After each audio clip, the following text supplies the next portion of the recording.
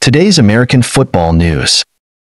Bengals Joe Burrow, wrist, declares himself ready for Week 1 versus Patriots. Jerod Mayo on Matt Judon trade. Patriots have gone years without having a premier rusher in past. Patriots Jerod Mayo. Drake Maye showed great composure in preseason outing versus Eagles. Rams Aubrey Pleasant to serve as head coach in Saturday's preseason game versus Chargers. Move the sticks. Bucky's rankings of new head coaches that could win a division title in year 1 published. August 15, 2024 at 1.51 p.m.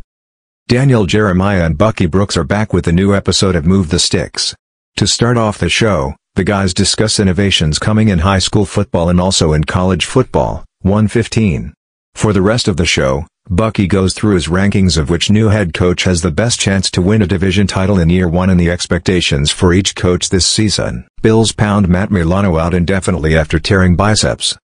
Buffalo Bills linebacker Matt Milano suffered another significant injury.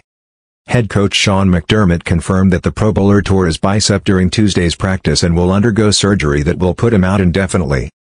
The coach described the injury as an unfortunate situation, noting that it happened during a bag tackling drill.